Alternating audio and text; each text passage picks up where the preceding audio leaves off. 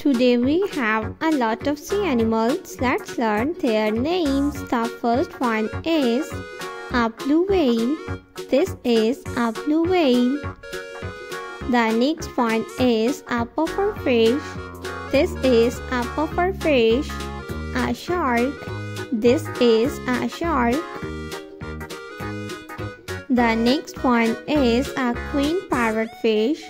This is a queen parrotfish, a scarabeo, a scarabeo, a pink fish. The next one is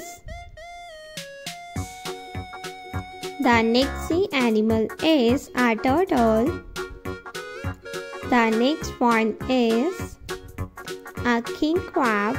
This is a king crab. The next one is a shark. This is a shark. The next one is a sea lion. A starfish. This is a starfish. A lobster. This is a lobster. The next one is a squid. This is a squid. A little duck. This is a duck.